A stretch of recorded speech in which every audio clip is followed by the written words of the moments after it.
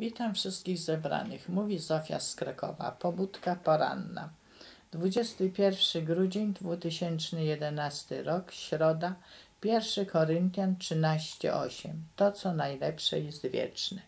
Miłość nigdy nie ustaje, bo jeśli są proroctwa, przeminą, jeśli języki ustaną, jeśli wiedza w się obróci. Prawo Chrystusowe, Galacjan 6, 2, 5.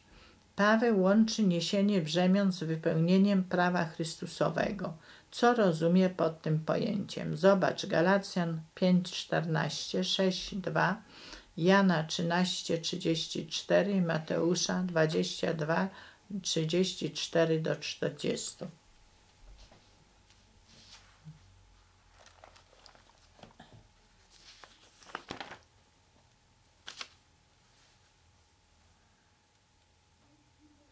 Jana 13:34 Nowe przykazanie daję wam, abyście się wzajemnie miłowali, tak jak ja was umiłowałem, abyście się i wy wzajemnie miłowali. Galacjan 5:14 Albowiem cały zakon streszcza się w tym jednym słowie, mianowicie w tym będziesz miłował bliźniego swego jak siebie samego. Galacjan 6:2 Jedni drugich brzemiona noście, a tak wypełnicie zakon Chrystusowy.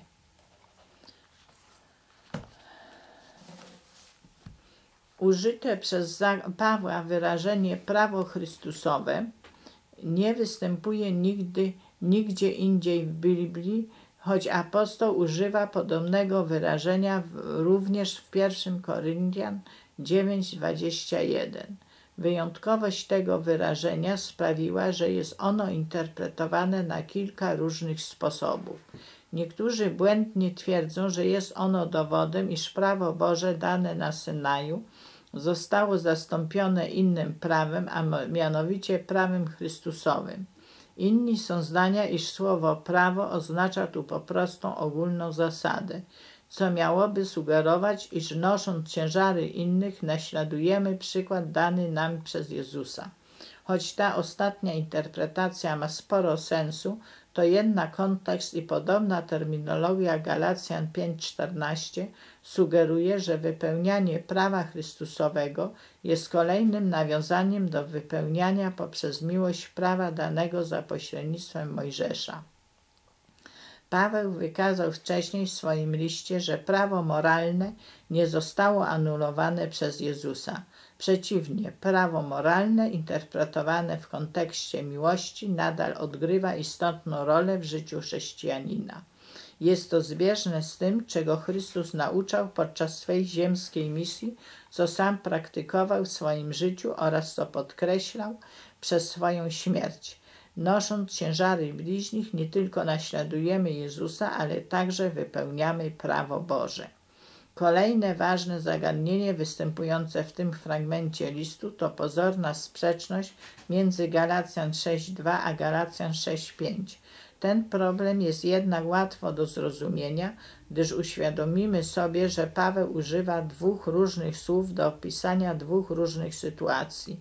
Jak wskazaliśmy wcześniej, słowo tłumaczone jako brzemię, greckie baros w Galacjan 6.2 odnosi się do ciężkiego ładunku, który należało przenieść na dużą odległość. Natomiast słowo fortion w Galacjan 6.5 odnosi się do ładunku statku, żołnierskiego ekwipunku, a nawet dziecka w łonie matki.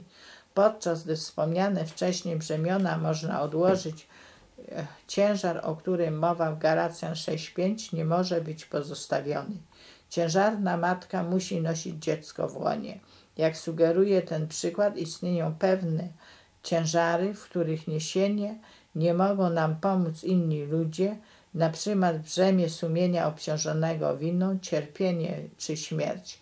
W tych przypadkach mamy polegać wyłącznie na pomocy Boga. Choć pewnymi brzemionami możesz się podzielić z ludźmi, są też takie, które możesz złożyć wyłącznie na Boga. Jak możesz się nauczyć składać na Pana to, czego nie jesteś w stanie dźwigać o własnych siłach? Dziękuję.